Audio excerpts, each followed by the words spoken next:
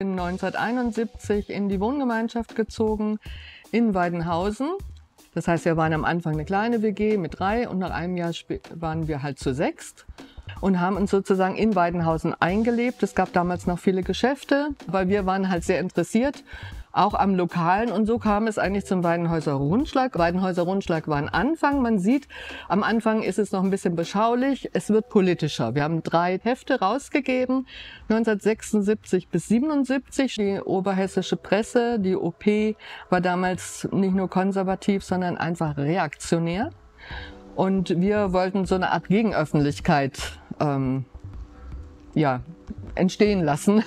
Und es gab dann ein paar, die halt beim Weidenhäuser Rundschlag mitgemacht haben, die dann in die Marburger Zeitung gegangen sind. Da hatten wir dann auch Redaktionsräume und später ist dann also aus ein paar auch der Express entstanden. Damals war es wirklich auch eine Zeit, wir haben dann gesagt, okay, wir wollen was machen oder wir wollen das und das, gibt's das, gibt's nicht, dann machen wir das eben. Oder ähm, wir wollten immer was haben, wo man sich trifft, wo man, also das große Thema war ja nicht, nicht vereinzelt sein, sondern in Gruppen leben, sich austauschen, in Kommunikation stehen, viel diskutieren, aber auch viel gemeinsam machen. Wir haben Kindergruppen gegründet, das gab es ja damals noch nicht so.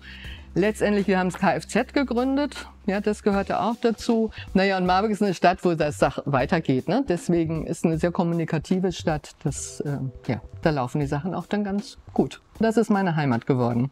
Und das hat ganz sicher auch mit dem Weidenhäuser Rundschlag und der Wohngemeinschaft zu tun.